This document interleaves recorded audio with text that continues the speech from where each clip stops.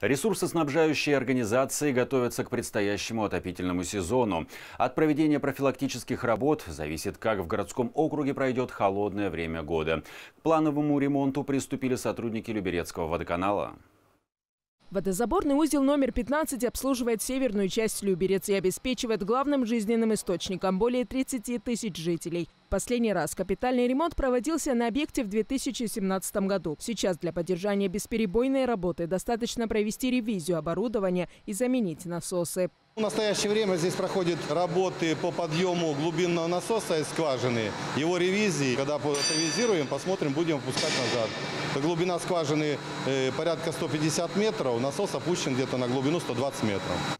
24 часа в сутки и 365 дней в году. Работа Люберецкого водоканала не останавливается ни на минуту. Устранить неполадки в зимнее время проблематично вдвойне. Остановится работа котельных. Поэтому лето – время интенсивной профилактики, чтобы отопительный сезон прошел безаварийно. В принципе, станция в хорошем состоянии. Здесь три скважины, все рабочие. У нас нет опасений, по крайней мере, по этому водозаборному узлу, что здесь будут проблемы. Завершить плановый ремонт сотрудники водоканала планируют до 15 сентября. К этому времени все водозаборные узлы, расположенные на территории округа, в полной мере будут готовы к работе в зимних условиях.